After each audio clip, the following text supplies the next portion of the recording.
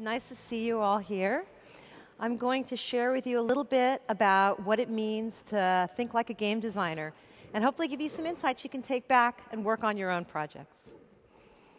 So, my life as a social gamer has been all about dancing on the edge between web apps and mobile and games. She mentioned I've worked on projects as diverse as Rock Band, Ultima Online, eBay, and Netflix. And to me, all of that is social gaming.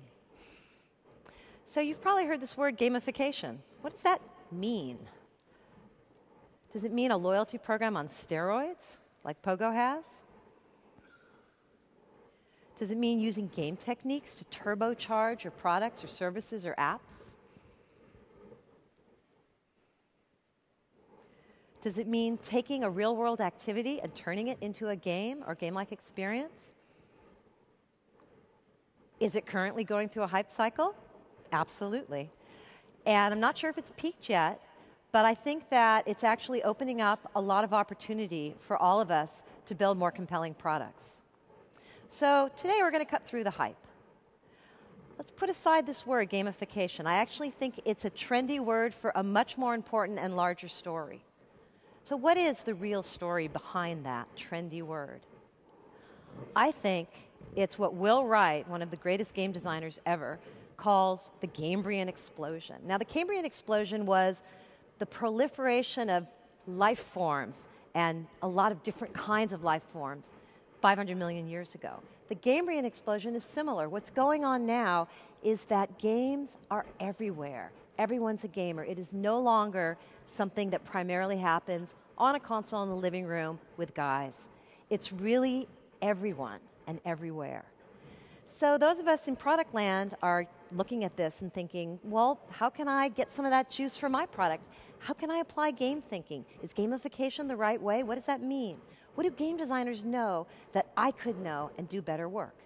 Well, I can't tell you the whole story today, but I can give you a little glimpse and set you down the right path.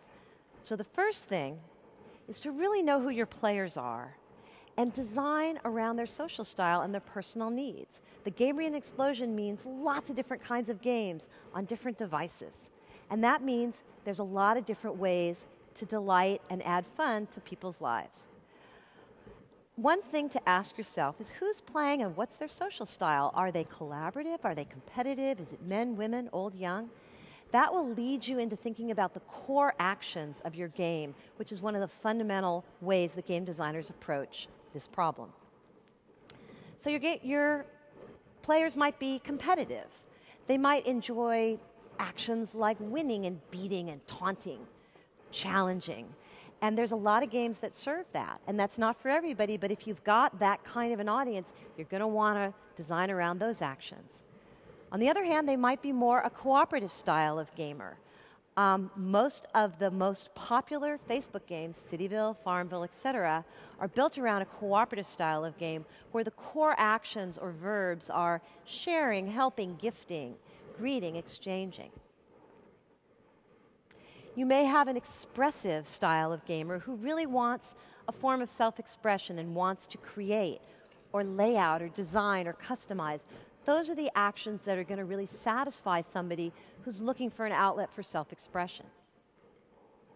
You might have an exploratory kind of gamer who's really interested in checking out every nook and cranny of your service, who really wants to collect everything there is to collect, know what there is to know. This kind of gamer is going to be motivated by viewing content, curating content, completing collections, those kinds of core activities. Now, game designers know how to build positive emotions into their core activity loop. The activities I just mentioned are usually presented in some kind of loop, which means you play the game and then you come back to the game and you engage with it over time. So, what you want to do is embrace that and put some positive emotions into your core activity loop.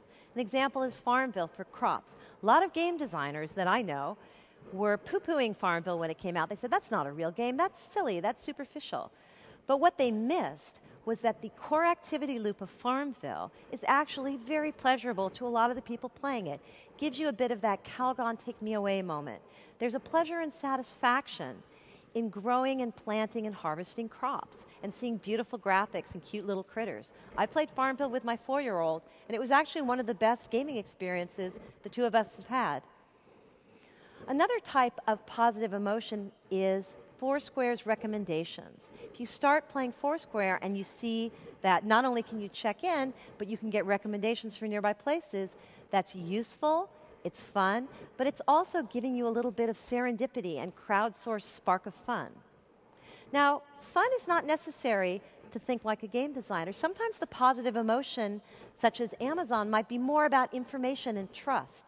If you look at Amazon's purchase messaging as a core activity loop, you can see that what they're going for is information and building trust. They let you know that you've bought something, they let you know they got it, they let you know when it's shipped, they let you know if it's going to be late. This is one of those things that creates a core activity loop that's outside of games but has a fundamental positive emotion with it. Another thing game designers know is how to design over time. If you remember one thing from this, I'd like you to take this home. There are three key stages of your player's life cycle. They don't experience a game over time, and they're not going to experience your product if it's at all of a service. Oh, they're not going to experience it statically. They experience it over time. So a useful way to think about this is to think about taking your player on some sort of journey. Where are they going? Where are they headed? How is your software getting them there? There's three key stages the noob or novice, which everybody is when they start, the regular, who's learned the ropes and now they're just using the software. And the enthusiast, or what we call power users, who are maybe the 2 to 5%, maybe 8% if you're lucky, of people that really love your product, invest a lot of time and energy into it. Each of these people is going to have a different experience and needs different design techniques to be satisfied. Novices need a good onboarding experience. There's many ways to skin that cat. One way is what Foursquare does, which is to use points and badges as an onboarding experience. The badges function as implicit goals or quests, and that lets people know this is what you can do, this is the rules of the game, this is how you play. Regulars who've learned the ropes really need fresh content or activities or challenges to keep them going, to keep them immersed. If you start using Foursquare, you can see these recommendations and you can also add your own recommendations. You won't necessarily do that the first time when you're learning, but it gives you something more to do that enriches your experience. Enthusiasts or power users really need some kind of exclusivity and recognition. They want to have an impact. These people devote a lot of time. And if you can think about systems that let them add value back, give them a special role, let them chat behind the scenes with devs, all those techniques well known to game designers can really help you hold on to and leverage and delight this small but really important group of players.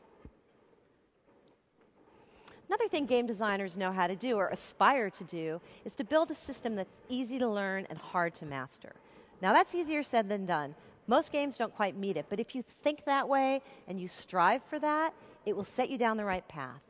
So, an interesting example is Quora. If you look at Quora through this lens, you can say, so how do I learn? Is the system easy to learn? How do I get started? Well, there's many ways. You can just read stuff, you can read answers, you can add a comment, you can vote. There's very light touch ways, very low risk ways to get involved and get started. What skill is someone developing if they play your game or your product? On Quora, the skill that you're developing is how to ask and answer a good question. If you're asking a question, they actually have an onboarding that creates some friction. Not anybody can ask a question. You have to jump through some hoops, which means the quality bar is raised. It's also true that on Quora, anybody can edit your question once it's posted, which is a very socially awkward yet interesting feedback loop that tells you what it means to play the game well. So, what does it take to master the game? If you're trying to make something that's easy to learn and hard to master, how do you measure mastery? I think Quora certainly could do more in this over the coming years, but mastering it basically means writing questions that get answers, that get good answers, and writing answers that get votes. If you happen to be the founder of a company that somebody said, Could you please answer this? and you come in, bingo, you've just mastered the game, as you can see from there. Now, a lot of people are excited about game mechanics and look at game mechanics as a way to manipulate behavior. Game designers, at least the really good ones, that's not how they think about it, and that's not how you should think about it either. Game mechanics are to light the way toward mastery. If you use them in that way, you will create a really great experience. Nike Plus is an interesting example of that. The Nike Plus coach uses clear feedback and progressive goals to light the way toward mastery. They start wherever you are. If you're just walking to run, there's a there's a path for you. If you're training for a marathon, you have a different path, but each of those paths is clear and is offered to you to show you what it means to master running at the level you're at. Nike Plus also uses crowdsourced stats to drive community awareness. It feels really good to be part of something larger than yourself. And it's a simple technique, but it communicates something core about the game and what it means to play well. As players progress, you want to increase the challenge and complexity. This is called flow in game design lingo, and this is the flow channel. Every game designer I know has internalized this. This is what designing for engagement is all about finding that balance between anxiety and boredom. And you do this by creating greater challenges as somebody gets more skill. One way to do this is progressive quests, as you can see, for instance, in Cityville. They also introduce new mechanics that you don't see when you're a beginner, but once you've leveled up a bit, bingo, there's something new to tackle. Game designers also know about how powerful it is to offer additional UI and power tools right when people are ready for them. So think about what can I hold back from my newbies? How simple can I make the interface? What can I let people earn? That will make a better experience and something that's also simpler to learn. And the last and possibly most important is to embrace extrinsic, intrinsic motivators like power, autonomy, and belonging. How many of you have ever read the book Drive by Dan Pink? If you haven't, you might want to think about it. He's got a great talk online. The punchline is that intrinsic value trumps extrinsic rewards in many surprising ways. It's been shown through research. So, when you're looking at the features that you want to develop, you can use extrinsic motivators and game mechanics to drive task completion. That's a great use of extrinsic motivators, like the LinkedIn progress bar. If you want to get at deeper engagement, you're not going to get there just with game mechanics and extrinsic motivators. You need to hook into something intrinsic that delivers real value to your players. Great example is ModCloth's Be the Buyer system, which delivers real power to their players by creating a crowdsourced clothing line within the online boutique. So if you want to know more about this, I'm going to be doing some workshops this coming spring and summer to help people develop better tools. You can uh, check out the website, follow me on Twitter, and I hope you take these ideas and go do some great work. Thank you.